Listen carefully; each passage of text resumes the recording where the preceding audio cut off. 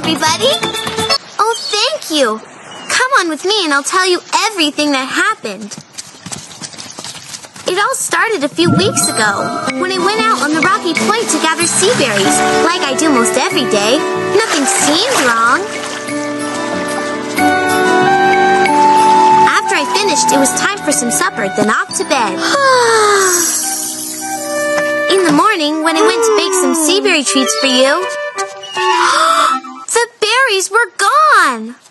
trail of them led to the lagoon and disappeared. Someone or something had stolen all of my sea berries.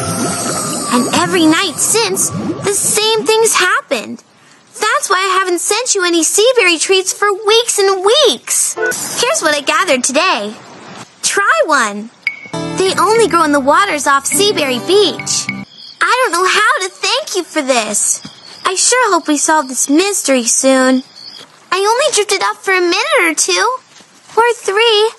We'll never have any more sea berries. I'll never be able to make my friends sea berry treats again. And no one will come see me. Not with some creature in the lagoon.